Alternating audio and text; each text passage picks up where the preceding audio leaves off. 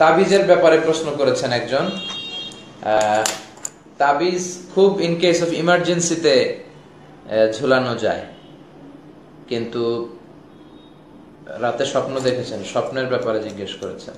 আচ্ছা। তাবিজ আপনাকে এক পর্যায়ে শিরকের দিকে নিয়ে যেতে পারে আর কি। তো রাসুল ইসলাম জন্য তাবিজ না ঝুলিয়ে রুকিয়া করতেন, ঝাড়ফুঁক।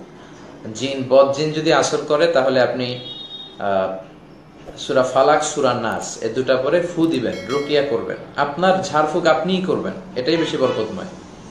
এবং আয়তুল কুরসি পরে ফু দিবেন। আর যদি কেউ অসুস্থ থাকে, দুরারোগ্য ব্যাধিতে অনেকে ক্যান্সার আক্রান্ত, চিকিৎসার পাশাপাশি আপনি সুরা ফাতিহা করে রুকিয়া করবেন। মদ বিক্রি। আচ্ছা। তো ফাতিহার সাথে, ফাতিহা পড়ে আপনি রুকিয়া করবেন, কারণ সুরা ফাতিহাকে বিষ্ণু ইসা ইসলাম বলেছেন সুরাতু শিফা। বিষ্ণুনবী সুরা ফাতিয়া পড়ে ফু দিয়েছেন, অনেকে সুস্থ হয়েছে, হাদিসে পাওয়া যায়। কিছু সাহাবারা সফরের মধ্যখানে বুখারির বর্ণনায় মরুভূমিতে একজন লোককে সাপে দংশন করেছিল, তাকে সুরা ফাতিহা দিয়ে রুকিয়া করে আল্লাহ তাকে সুস্থ করেছেন, এগুলো পাওয়া যায়। তো আপনারা রুকিয়া করবেন, তাবিজ নয়। আচ্ছা স্বপ্নের ব্যাপারে